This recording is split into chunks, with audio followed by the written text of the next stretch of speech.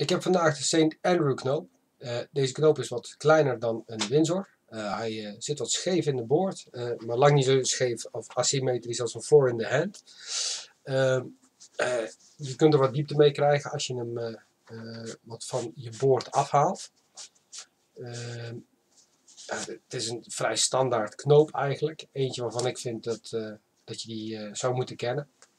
het leuke is dat je hem met de binnenkant naar buiten toe knoopt. Ik heb uh, links heb ik de, of rechts heb ik de dunne zijde, links heb ik de brede zijde.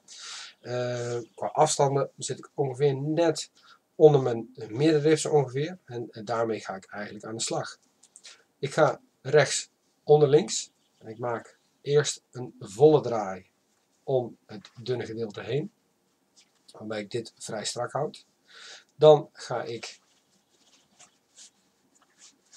midden door en trek ik hem naar de kant toe waar ik mee ben begonnen. En vervolgens sla ik hem één keer langs, of voorlangs. Dan ga ik hier midden door, kom ik weer terug.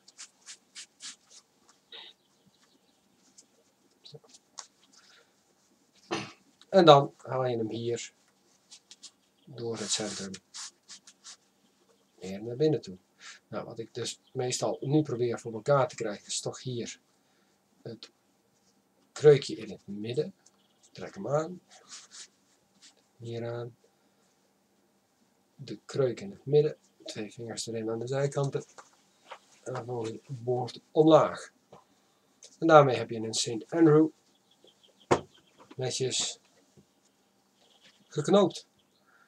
Hele eenvoudige knoop. Maar wel eentje die je zeker in je pakket moet hebben. En uh, je hebt uh, eigenlijk bijna geen, uh, geen reden meer om geen stopdas te dragen.